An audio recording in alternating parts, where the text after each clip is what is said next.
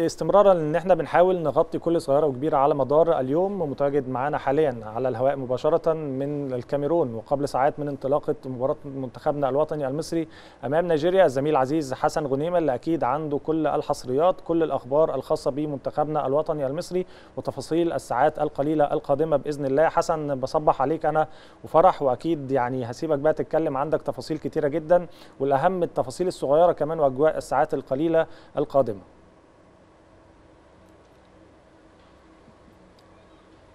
صباح الخير يا غانم صباح الخير يا فرح صباح الخير على كل مشاهدي اون تايم سبورتس في كل مكان. يمكن زي ما انت قلت يا غانم مش بنسيب أي كبيرة وصغيرة وإحنا النهارده كاميرا اون تايم سبورتس موجودة حصريا في مدينة جاروا الكاميرونية عشان نتابع معاكم أجواء وكواليس منتخبنا الوطني في مستهل مشواره النهارده أمام المنتخب النيجيري في بطولة الأمم الأفريقية 2022 يعني النهارده يا غانم يعني في حالة ارتياح كده داخل معسكر منتخبنا الوطني وثقة كبيرة جدا. الحقيقة وتفاؤل داخل المعسكر إننا قادرين على انتزاع الثلاث نقاط النهارده. ثلاث نقاط بالتأكيد هتكون عنيدة أمام منتخب عنيد بحجم المنتخب النيجيري. لكن خليني أقول لك يا غانم إنه يعني الجماهير النيجيرية بقى لها 48 ساعة ساعة بتزحف بكثافة كبيرة جدا لمدينة جروة الكاميرونية نتيجة لقرب المسافة ما بين الكاميرون ونيجيريا 100 كيلو متر فقط أي مواطن يقدر إنه يكون موجود في ظرف ساعتين داخل ملعب روميدي أجيا اللي يستضيف مباراة النهارده بعربيته في خلال ساعتين وبالتالي النهارده هيكون في طيارة دريم لاينر ودي من الطيارات الكبيرة الكويسة من مصر للطيران إن شاء الله توصل ب 300 مشجع مصري بسلامة الله إلى مطار جروة النهارده. يعني الساعة حوالي 2:30 بتوقيت جروة. يعني قبل المباراة بحوالي 3 ساعات. المباراة النهارده بالتأكيد هتكون في في تمام الساعة 6 مساء. الجمهور بالتأكيد ال 300 اللي هيجوا من مصر هيفرقوا كتير وهيكون في يعني توازن في المدرجات ما بين الجماهير المصرية والنيجيرية. لكن غانم خليني أقول لك إنه النهارده برضو في بعض التعليمات مهمة جدا بنقولها لجمهورنا اللي جاي في الطريق في تحليل PCR هيتم عمله في مطار جاروا قبل التوجه إلى إلى ملعب المباراة. كمان يعني خلاص المكان بتاع الجمهور المصري أصبح محدد داخل ملعب رومدي أجيا وبالتالي هتكون بالتأكيد مباراة قوية جدا. كمان يا غانم بقى حالة ارتياح جوه المعسكر بعد ثبوت سلبية جميع اللاعبين من فيروس كورونا. كان طبعا الكل حاطط إيده على قلبه إن يغيب أحد اللاعبين الأساسيين. غانم خليني أقول لك النهارده التشكيل المتوقع بنسبة 99.5 في المية اللي هيبدأ بيه كيروش المباراة النهارده. محمد الشناوي لحراسة المرمى. رباعي خط الظهر أحمد فتوح ناحية الشمال. اثنين قلبي دفاع حجازي والونش ناحية اليمين هيكون أكرم توفيق. في منطقة وسط الملعب هيلعب بالثلاثي حمدي فتحي ومحمد النني والأقرب إن اللي يشغل المركز الثالث في نص الملعب مركز 8 هيكون تريزيجيه وخاصة إنه تريزيجيه بيتألق خلال الكذا تدريب اللي فاتوا ورجع من الإصابة بشكل كبير ربنا يحفظه ويكون ورقة رابحة لينا في هذه البطولة. الخط الهجومي هيكون محمد صلاح ناحية اليمين في الوسط في, نص خط الهجوم هيكون مصطفى محمد ناحية الشمال هيكون عمر مرموش. حتى واضح إنه يعني كيروش هيعتمد على عمر مرموش وتريزيجيه ناحية الشمال عشان يعمل جبهة هجومية قوية ويستغل بعض الغيابات في خط الدفاع النيجيري. خليني أقول لك كمان يا غانم يعني التذاكر بتاعه المباراة تم طباعتها متأخر جدا في ساعات متأخرة امبارح من الليل نتيجة لأنه انتشر بشكل كبير جدا التذاكر المضروبة والتذاكر المزورة في شوارع جروة وبالتالي الكاف فضل إن هو يأخر شوية طباعة التذاكر.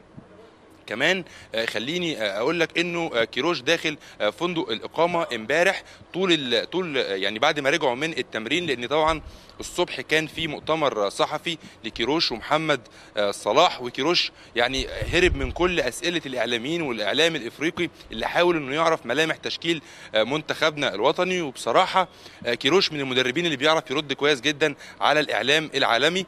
ما ادالهمش أي معلومة خالص بخصوص التشكيل بالتأكيد. كيروش ثعلب كبير ونتمنى نشوفه النهارده إن شاء الله ثعلب داخل الملعب. آه كمان كان في بقى يعني مفاجآت خلال التدريبات الحقيقة امبارح وأول امبارح آه في آه معسكر منتخبنا الوطني.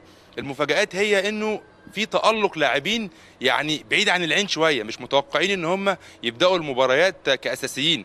مروان داوود محمد عبد المنعم محمود جاد محمد صبحي اللعيبة بتقدم مستويات رفيعة المستوى الحقيقة داخل التدريبات وبيقدموا مستوى قوي جدا وده اللي خلى كيروش عنده حيرة من كتر اللعيبة الجاهزين. بسم الله ما شاء الله ربنا يكملنا كده لحد آخر البطولة.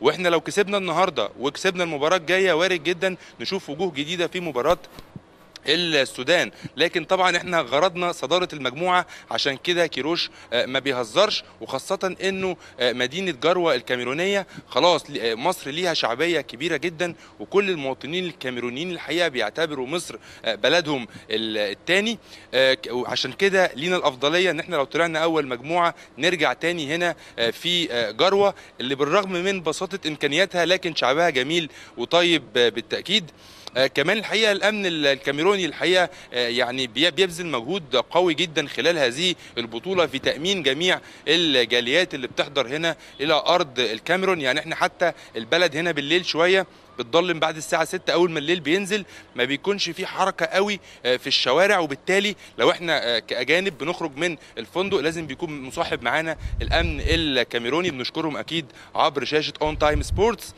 كمان بقى خلينا أكلمك النهاردة على أجواء المباراة. وملعب رومدي أدجيا هنا في مدينة جاروا الكاميرونية.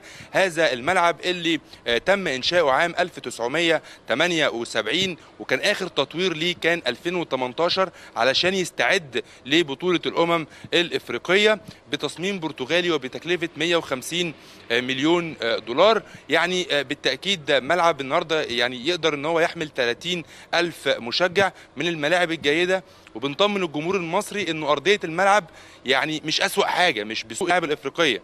جيدة جدا. إن شاء الله ربنا يحمي لاعبتنا من الإصابات. يمكن يا غانم دي كانت معظم الأجواء والكواليس النهارده من مدينة جروة الكاميرونية. وإن شاء الله نكون موجودين مع بعض بكرة وإحنا فرحانين بأول ثلاث نقاط للمنتخب المصري في بطولة الأمم الأفريقية 2022 بالتأكيد العودة ليك يا غانم العودة ليك يا فرح. صباح الفل.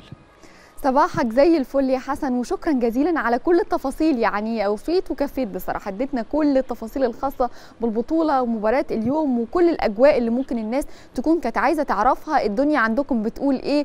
التفاصيل واضح جدا كمان إن أنت لابس يعني لبس خفيف. أعتقد إنه درجة الحرارة زي ما أنت كنت أعلنت من يومين 35 درجة. فأعتقد إن كل الأمور على ما يرام الحمد لله. كل التفاصيل الخاصة بالملعب والاستعدادات الحمد لله. وكمان أداء اللعيبة اللي كنت لسه بتشيد بيهم اللي حتى بره الصندوق أو بره كمان الفكر اللي ممكن الواحد يفكر فيهم إن هم ممكن يشاركوا بشكل أساسي مع المنتخب المصري. تحياتنا ليك الزميل العزيز حسن غنيمة المتواجد من الكاميرون مع منتخبنا المصري. كل التوفيق ليهم النهارده إن شاء الله أمام منتخب نيجيريا. مشاهدينا